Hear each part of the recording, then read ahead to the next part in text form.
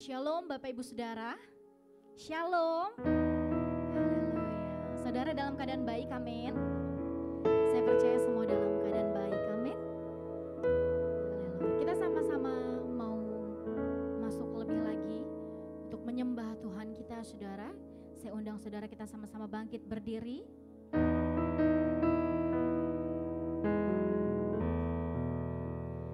Biar hari ini kita mau membawa pujian sembah kita. Amin, saudara. Kita bersatu di dalam doa. Kami mengucap syukur Tuhan untuk kasih setia Tuhan, untuk untuk pertolongan Tuhan yang Kau nyatakan buat setiap kami. Terima kasih Tuhan, biar hari ini, siang ini, kami percaya Roh Kudus hadir di tengah-tengah kami untuk melawat setiap kami. Kami buka hati kami lebih lagi untuk boleh menyenangkan Tuhan. Terimalah pujian sembah kami Tuhan. Di dalam nama Tuhan Yesus. Amin. Kasih tepuk tangan buat Tuhan Yesus saudara. Haleluya. Saudara bisa kembali duduk dan terus buka hatimu. Saya rasakan dia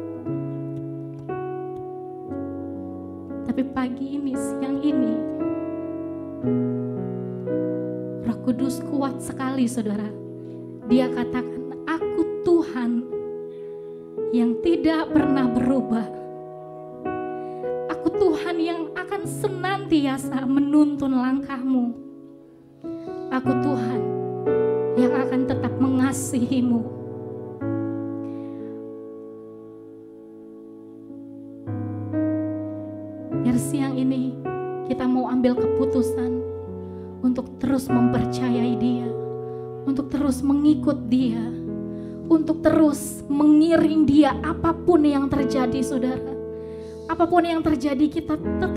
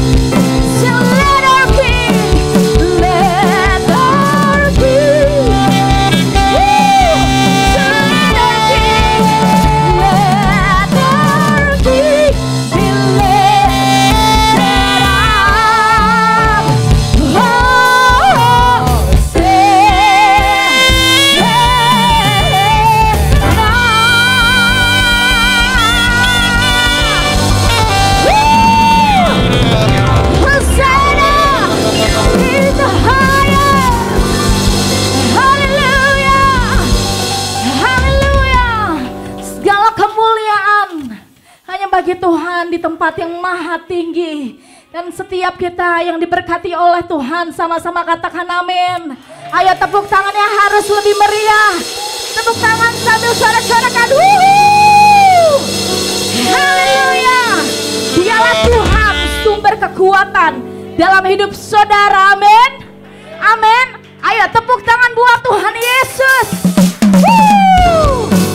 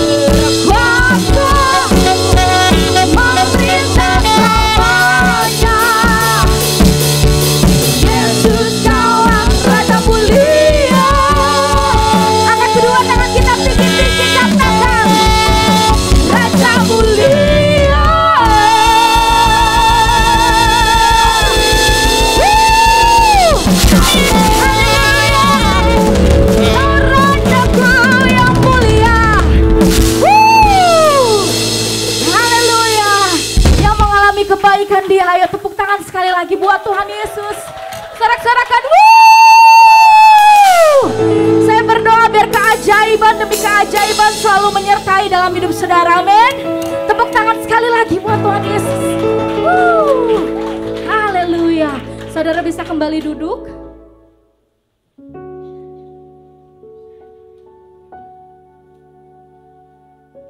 Ya Bapak Ibu Saudara, saya mau memberikan beberapa pengumuman. Di pintu luar ada kotak persembahan. Nanti setelah ibadah, Bapak Ibu Saudara eh, boleh membawa persembahannya dan taruh di kotak yang sudah tersedia.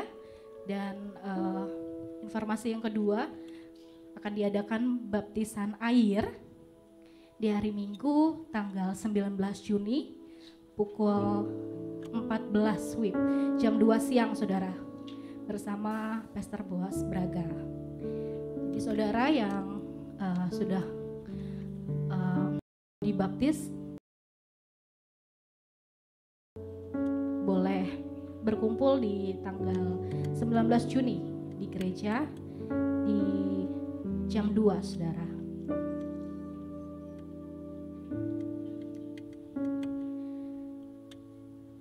Siang ini kami mau dengar apa yang menjadi isi hati Tuhan buat setiap kami.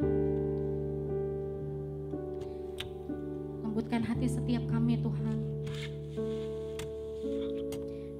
Biar setiap kebenaran firman-Mu hari ini boleh menguatkan kami, boleh mengajari kami, dan boleh menyatakan kesalahan kami. Terima kasih Tuhan Yesus yang baik.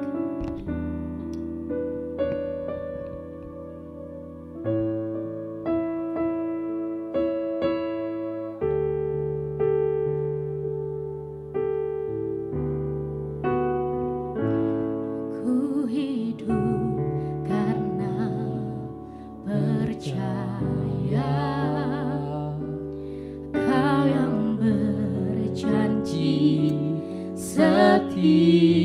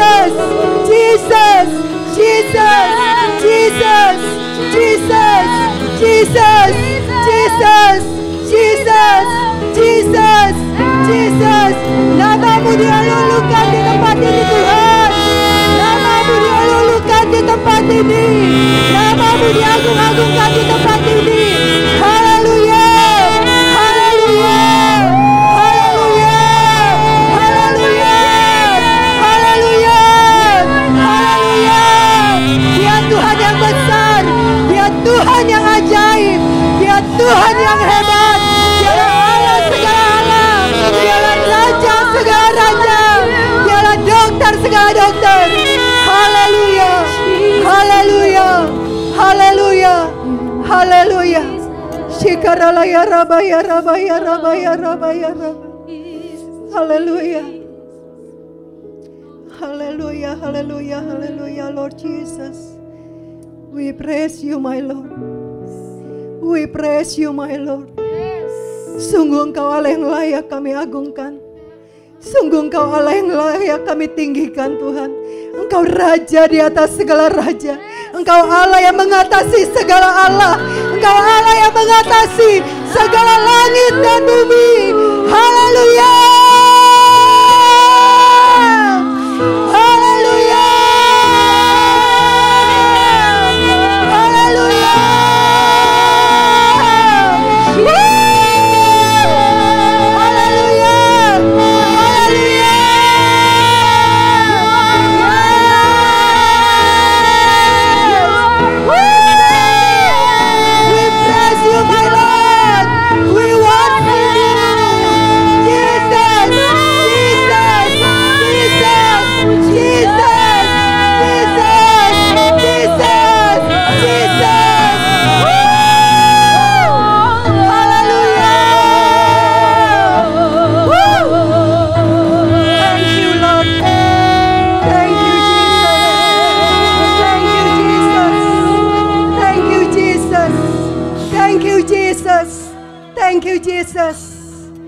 Praise you, my Lord. Haleluya. Bapak, sungguh kami bersyukur dan bersuka cita oleh karena Tuhan. Sungguh kami bangga memiliki Allah seperti Engkau. Engkau Allah yang dahsyat dan ajaib. Engkau Allah yang luar biasa. Engkau Allah yang melakukan banyak mujizat demi mujizat di dalam kehidupan kami. Terima kasih Tuhan. Terima kasih. Di dalam nama Tuhan Yesus kami berdoa dan mengucap syukur. Haleluya. Amin. Haleluya. Shalom bagi jemaat Tuhan yang uh, mengikuti secara online. Salam damai sejahtera bagi kita semua. Ya, pada pagi hari ini saya akan berbicara temanya adalah tentang Tuhanku yang hebat. Ya. Firmannya dahsyat. Ada amin? Ya, ada yang masih ingat uh, firman Tuhan di minggu yang lalu? Bapak Gembala kita menyampaikan tentang apa? Ya, puji Tuhan. Roh yang menyala-nyala ya. Kalau roh yang menyala-nyala, nyembah Tuhannya gimana? Semangat ya, betul ya. Pasti kita semangat dalam menyembah Tuhan ya. Oh iya, sorry, ada pesan sponsor. Bagi uh, yang membawa anak-anak ya, sekarang kita sediakan sekolah minggu ya. Uh, bisa ke samping, ada kakak-kakaknya yang akan melayani di sana. Ya boleh bawa anak-anaknya ke sana, oke? Okay. Ya. Jadi biar setiap anak-anak kita juga dibimbing dan dididik ya dalam takut akan Tuhan, ya. ya, puji Tuhan. Ya masih ada satu lagi. Kita tunggu yang lewat. ya, haleluya. Nah, minggu lalu hamba uh, gembala kita menyampaikan tentang apa? roh yang menyala-nyala.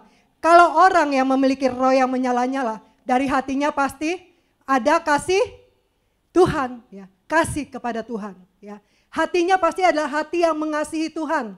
Hatinya pasti adalah hati yang mencintai firman Tuhan. Hari ini temanya ya, Tuhanku hebat, firmannya dahsyat ya. Jadi setiap kita, saya mau setiap kita mengalami itu semua ya. Tidak hanya menjadi slogan ya, tetapi itu semua boleh kita alami di dalam kehidupan setiap kita. Nah, beberapa waktu yang lalu saya bertemu dengan seorang teman. Ya.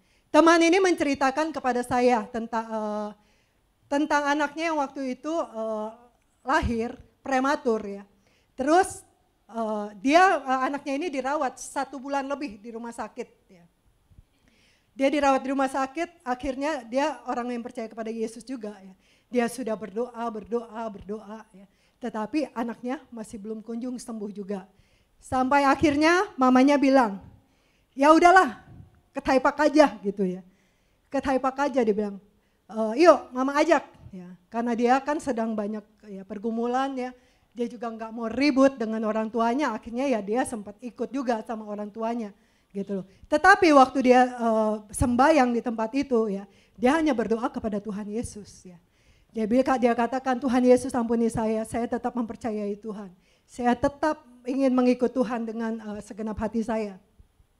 Nah, kemudian tiba-tiba dia dikejutkan. Bukan berarti saya melegalkan ini ya. ini kan karena ada apa, uh, ya tapi saya nggak bisa mengexcuse juga.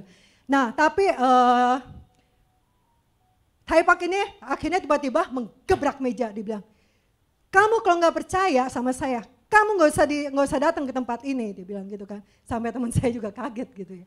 Nah terus uh, mamanya tanya sama Taipak ini katanya emang kenapa kok uh, kok gitu ya?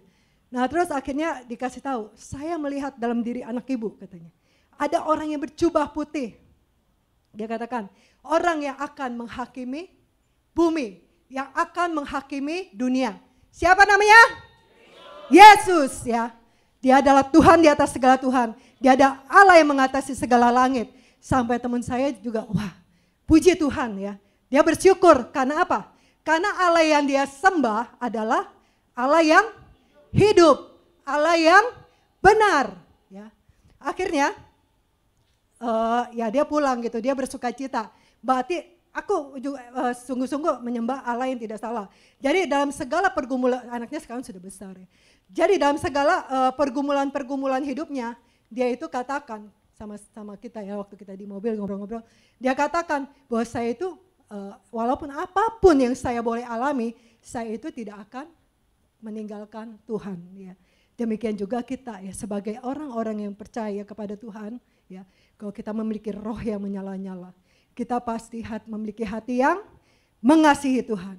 Ketika kita memiliki hati yang mengasihi Tuhan, kita pasti mengasihi dan mencintai firman Tuhan. Waktu kita mencintai firman Tuhan berarti kita juga menjadi pelaku-pelaku firman ya, yang membawa terang Tuhan kepada orang-orang yang belum mengenal Tuhan. Jangan terbalik ya. Jangan kita yang mengikut orang-orang untuk menyembah kepada Allah lain ya. Nah, coba kita baca ya. Mau tahu uh, Tuhan kita Tuhan yang hebat. Coba di uh, ini tem uh, Mazmur 96 ayat 4 dan 13. Ya. Sebab Tuhan maha, maha besar dan terpuji sangat. Ia lebih dahsyat dari segala Allah. Ia lebih apa? Dahsyat dari segala Allah. Sebab ia datang untuk menghakimi bumi. ia akan menghakimi dunia dengan keadilan dan bangsa-bangsa dengan kesetiaannya ya. Seperti tadi ya, eh, waktu teman saya eh, datang ke Taipak, Taipak itu bilang, "Oh, saya melihat orang berjubah putih yang akan menghakimi dunia." Loh, orang-orang di luar Tuhan aja ya, bahkan di kuasa-kuasa kegelapan aja mengakui akan kuasa Tuhan, kuasa Tuhan kita, Tuhan yang hebat, ya, Tuhan yang dahsyat. Nah, eh, jangan sampai bahkan kan dikatakan bahwa siapa yang memegang kunci kerajaan surga? Yesus ya, Isa Al-Masih ya. Orang lain aja percaya. Jangan sampai malah kita orang-orang yang di dalam, orang yang mula-mula percaya kepada Yesus meninggalkan Yesus. Jangan ya. Tetap kita pegang teguh. Nah, kita mau belajar dari seorang yang bernama Yosafat. Dalam 2 Tawarik 17, nanti kita akan baca bergantian, saya baca 34. Nah, hari ini ya, siapa di sini orang-orang yang mencintai firman Tuhan? Yes, ya, mencintai firman Tuhan. Berarti siap ya untuk kita pulang sore. ya, siap kan? Tanda Hana? siap nggak siap? Harus siap. ya. Loh iya dong, katanya tadi, wow saya mencintai firman Tuhan, saya mengasihi Tuhan. Masa kan uh, dalam firman Tuhan aja kan dikatakan, Daud berkata, aku mau lebih baik apa? Satu hari di rumah Tuhan, jangan tepat.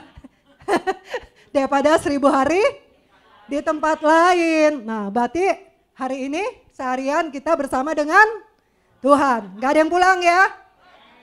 Janji ya, nanti Ripka yang siapin makanan. Haleluya. Ayo, firman Tuhannya mana firman Tuhan? 2 Tawarik 3, eh 2 Tawarik 17 ayat 3 dan 4. Nah dikatakan, dan Tuhan menyertai Yosafat karena ia hidup mengikuti jejak yang dahulu dari Daud, bapak leluhurnya dan tidak mencari Baal-Baal. Melainkan mencari Allah ayahnya. Ia hidup menurut perintah-perintahnya dan tidak berbuat seperti Israel. Karena apa? Karena pada zaman itu, pada masa pemerintahan Yosafat, raja Israel adalah Ahab.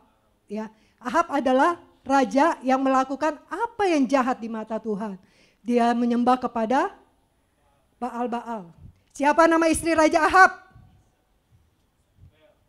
ih sebel ya. nah, kalau uang-uang apa uang-uang belanja kurang biasa istri-istri suka itu enggak? Ih sebel. enggak ya? Oh dahsyat.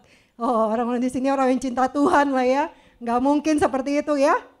Nah coba uh, ayat 5 dan 6.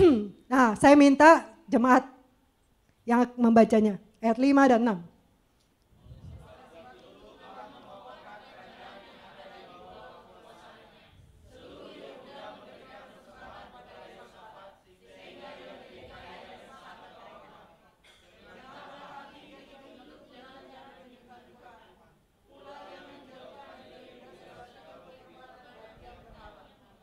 Haleluya ya. Di sini dikatakan ya. Dikatakan apa? Bahwa Yosafat Tuhan mengukuhkan kerajaannya ya. Ya, kerajaan di bawah kekuasaannya. Bahkan apa? Seluruh Yehuda mempersembahkan kepada Yosafat. Sehingga ia menjadi kaya dan sangat terhormat. Di sini kita bisa melihat ya bahwa Yosafat adalah orang yang sungguh mengasihi Tuhan. Yosafat adalah orang yang sungguh mencintai Tuhan. Dia hidup mengikuti perintah-perintah Tuhan. Nah, kita bisa lihat orang-orang yang mengasihi Tuhan, orang-orang yang hidup berkenan di hadapan Tuhan. Dia e, menjadi orang-orang, menjadi orang yang diberkati Tuhan. Tetapi jangan sampai kita mengikut Tuhan karena berkat-berkatnya ya. Tapi biarlah kita mengikuti Tuhan dengan hati yang mengasihi Tuhan, dengan hati yang tulus, dengan hati yang benar di hadapan Tuhan. Sehingga ya nanti Tuhan yang kasih lo bonus-bonusnya ya. Baik itu kesembuhan, baik itu mujizat, baik itu uh, keamanan, kedamaian, ya. Segala apa yang kita buat Tuhan jadikan berhasil dan beruntung. Itu itu bonus-bonus dari Tuhan waktu kita mengasihi Tuhan dan kita mengasihi firman-Nya. Amin. Yes. Ini kayaknya eh, masih ada berapa pasal? Ya 17 sampai 19. Tadi saya mau sampai 20, makanya siap ya? Nggak makan siang ya? Siap. Saya nggak siap. Oke lah, kita lanjut lagi di ayat 7 dan 8, saya akan bacakan. Pada tahun ketiga pemerintahannya, ia mengutus beberapa pembesarnya, yakni Ben Hail, Obaja, Jakaria, Netanil, dan Mika untuk mengajar di seluruh kota-kota Yehuda. Bersama-sama mereka turut juga beberapa orang Lewi, yakni Semaya, Netanya, Jebaja, Asael, Semiramot, Yonatan, Adonia, Tobia, dan Top Adonia disertai imam-imam Elisama dan Yoram. Ayat 9 dan 10 Bapak Ibu.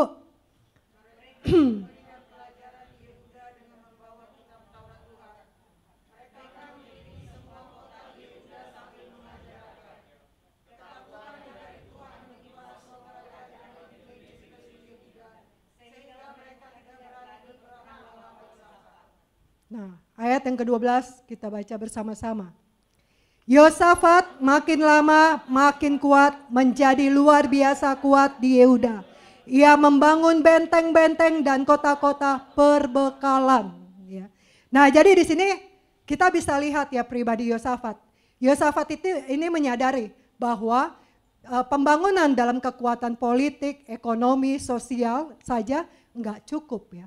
Tetapi Yosafat menjadikan firman Tuhan menjadi landasan, menjadi fondasi di dalam dia membangun kerajaannya dan membangun bangsanya.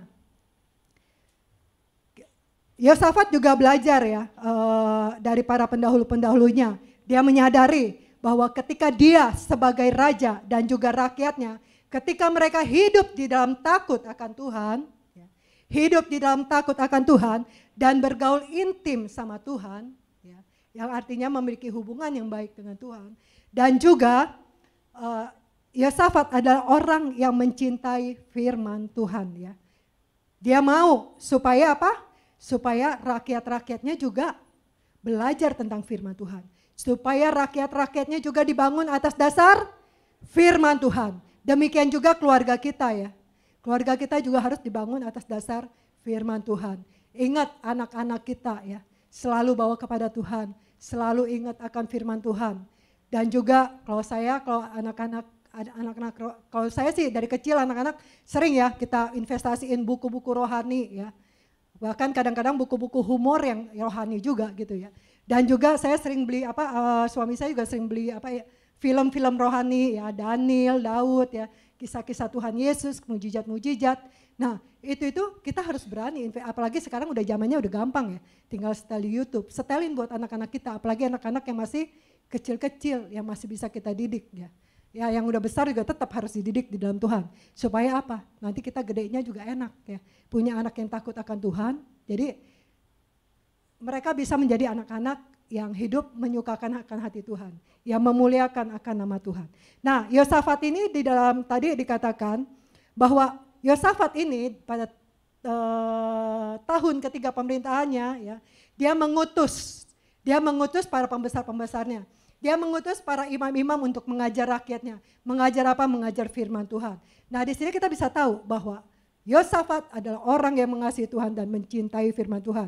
Karena apa? Pasti Yosafat mengalami uh, bahwa ketika kita memegang teguh firman Tuhan, janji-janji Tuhan digenapi di dalam hidup kita. Amin.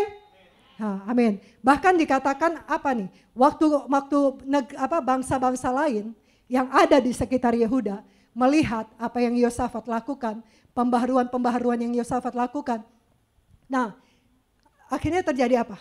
Ketakutan dari yang dari Tuhan menimpa semua kerajaan di negeri-negeri sekeliling Yehuda sehingga mereka tidak berani berperang melawan Yehuda, ya, melawan Yosafat. Nah, di sini kita bisa lihat ya eh, bahwa firman Tuhan itu adalah firman yang hidup. Firman Tuhan itu adalah firman yang berkuasa. Firman itu Tuhan itu adalah firman yang dahsyat, yang mengadakan yang tidak ada menjadi ada. Ya, yang mem, yang membuat apa? hati yang terluka dipulihkan, disembuhkan. Yang membuat hati-hati yang telah menyimpang dari jalan-jalan Tuhan berbalik kepada jalan-jalan Tuhan. Oke, nah kita lanjut lagi. Nah, apa yang dilakukan oleh Yosafat ya? Itu membuat terjadi kebangunan rohani atas bangsa Yehuda ya.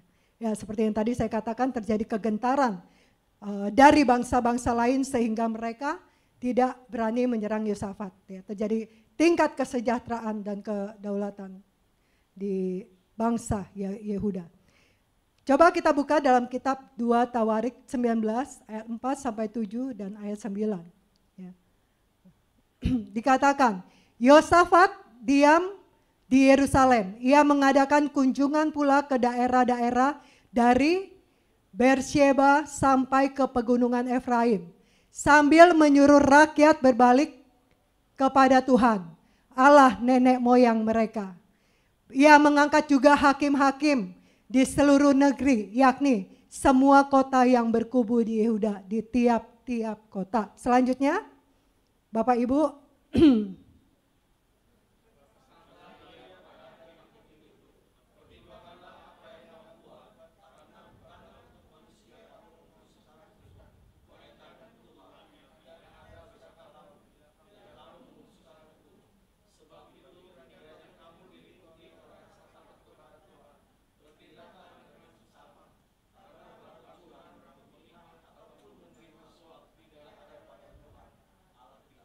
Ya, ayat 9 saya bacakan. Ia memerintahkan mereka, kamu harus bertindak dengan takut akan Tuhan, dengan setia dan dengan tulus hati. Ya, saya lihat, saya baca ini luar biasa juga ya. Raja Yehuda ini dia apa? E, berkeliling ya. Bahkan dia mengajak rakyatnya untuk berbalik, berbalik kepada Tuhan.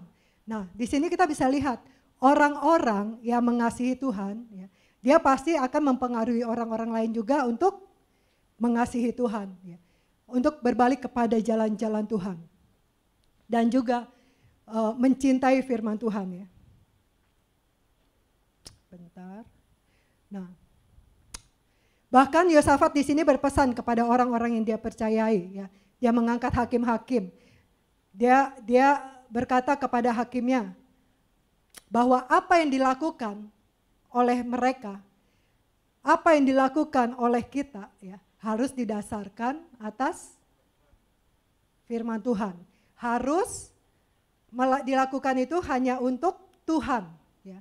Waktu kita melakukan itu untuk Tuhan berarti kita menyatakan kemuliaan Tuhan. Waktu kita menyatakan kemuliaan Tuhan berarti tidak ada kecurangan, tidak ada kepalsuan, tidak ada penipuan. Benar? Berarti apa yang kita lakukan itu adalah uh, membawa damai sejahtera, bagi banyak orang. Nah, kita juga bisa melihat bahwa bukti dari keajaiban dan kedahsyatan firman Tuhan adalah bahwa setiap hidup orang percaya kepada Tuhan, mereka semakin hari semakin diubahkan, semakin hari semakin diperbaharui di dalam Tuhan, menjadi serupa dengan Kristus. Nah, kita mau mau lihat ya bahwa apa? Uh, di dalam firman Tuhan itu terkandung apa sih? Hah? Kuasa, ya ada kuasa. Ya, ada apa lagi?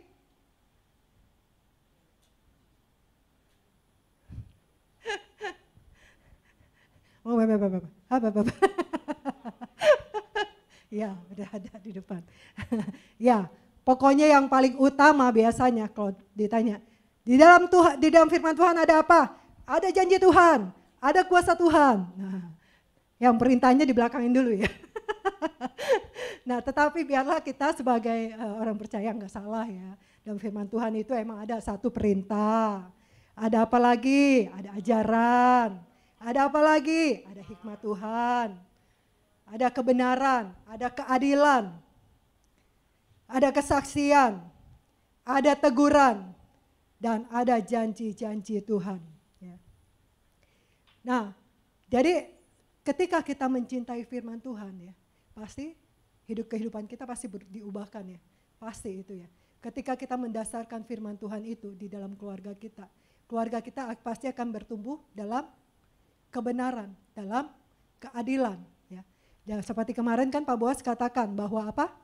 Orang-orang yang mengasihi Tuhan, orang-orang yang bertumbuh, orang-orang yang intim sama Tuhan, dia akan bertumbuh secara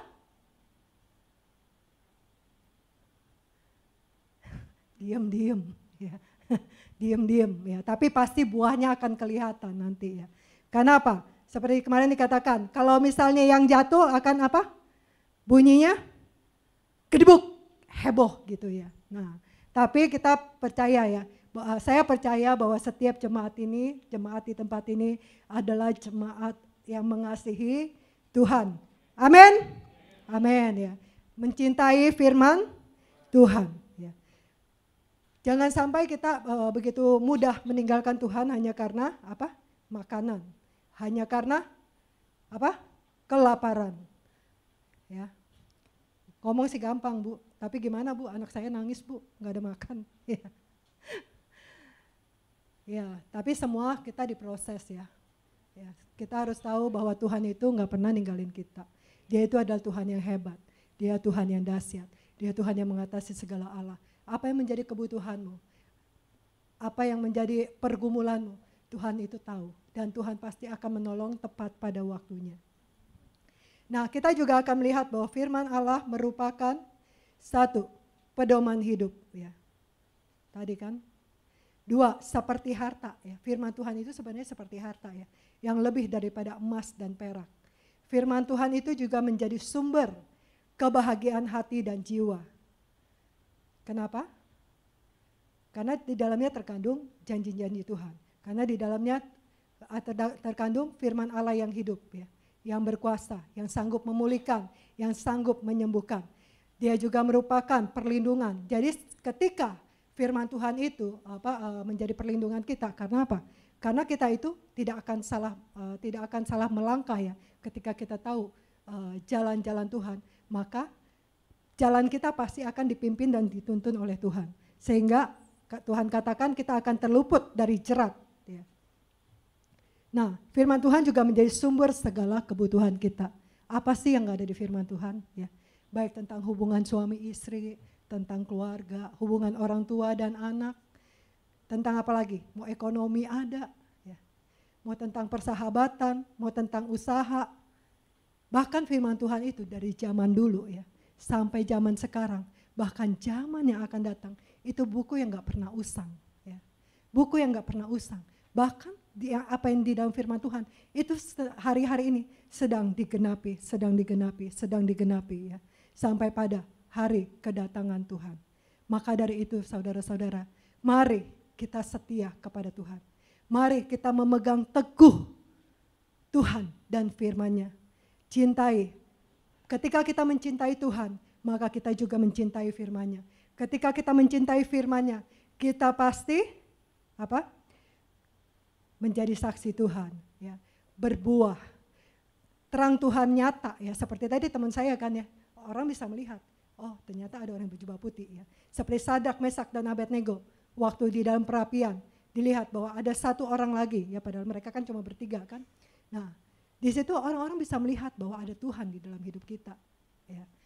Karena orang yang intim, orang yang apa mengasihi Tuhan, orang yang sungguh-sungguh mencintai firman Tuhan, dia pasti hidupnya akan dalam hidup di dalam kebenaran, hidup di dalam takut akan Tuhan. Ketika kita hidup di dalam takut akan Tuhan, Berkat-berkat Allah menyertai kita. Ya. Perlindungan Allah ada pada kita. Bahkan Tuhan adalah Tuhan yang selalu yang membela anak-anaknya, yang memberikan kepada kita kemenangan demi kemenangan. Ya. Tuhan firman apa firman Tuhan katakan, kamu akan menerima janji Tuhan ketika kamu tidak menjadi lemah. Ya. Maka jangan sampai kita menjadi lemah. Tetap terus miliki semangat ya. Karena orang-orang yang uh, memiliki semangat, memiliki pengharapan, dia itu akan selalu kuat di dalam Tuhan. Ya. Badai boleh datang ya.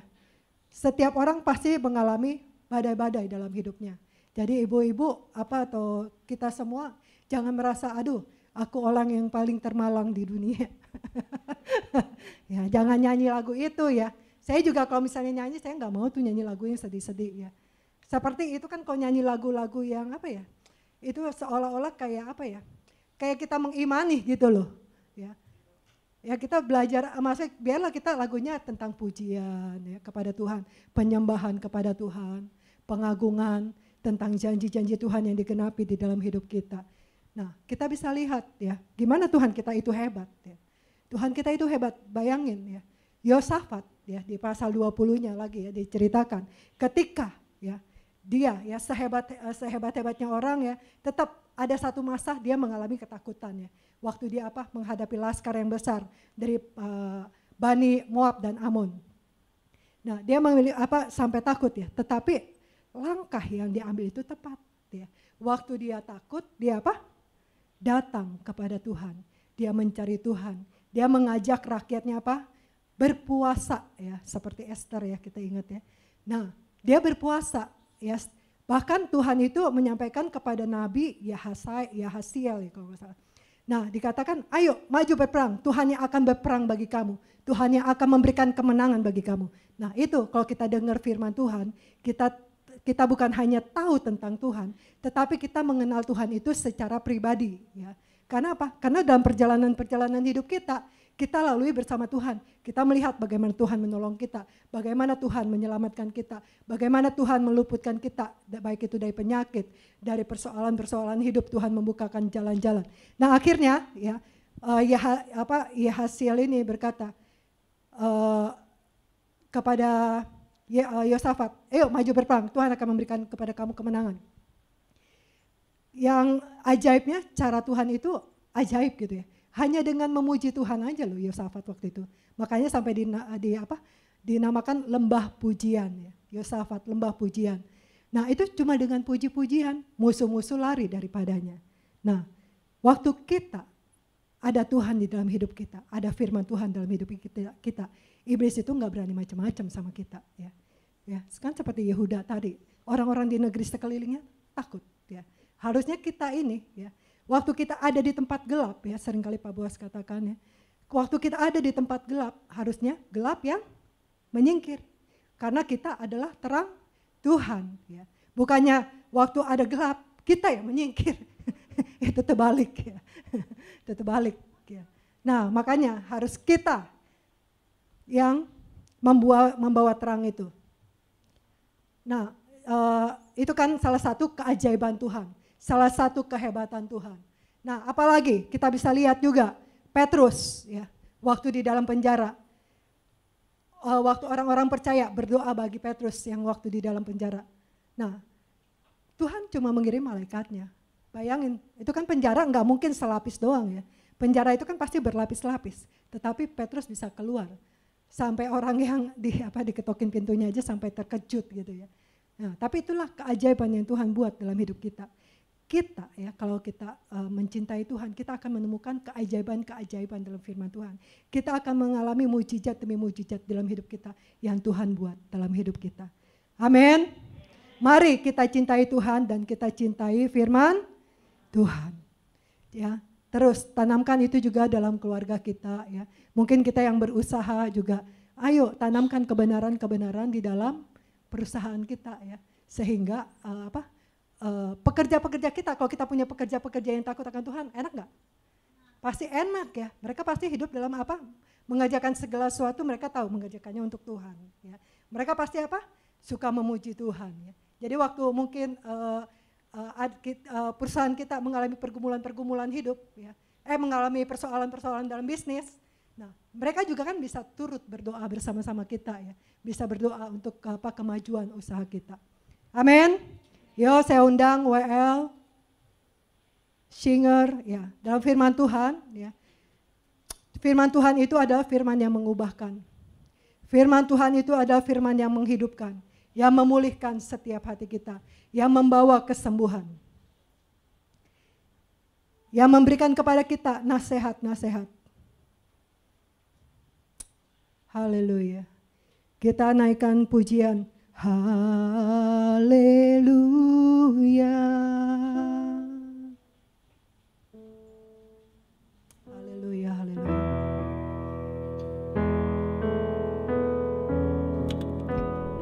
Yes.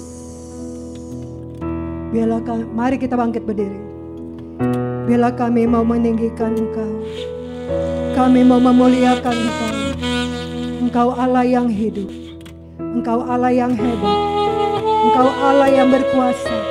Bahkan firman-Mu adalah firman yang hidup. Firman yang dahsyat. Firman yang menciptakan dari yang tidak ada menjadi ada. Firman yang menciptakan langit dan bumi. Firman yang memberi yang membuat bintang-bintang, matahari, yang menciptakan tumbuh-tumbuhan, yang menciptakan binatang-binatang, bahkan yang menciptakan kami. Engkau menjadikan kami menjadi makhluk yang mulia. Terima kasih Bapak, terima kasih.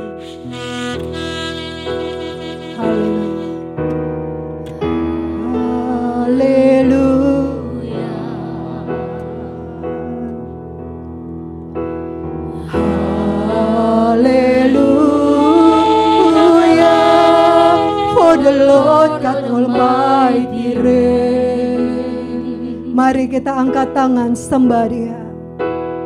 Dialah Allah yang layak diagungkan. Haleluya. Haleluya. For the Lord God Almighty.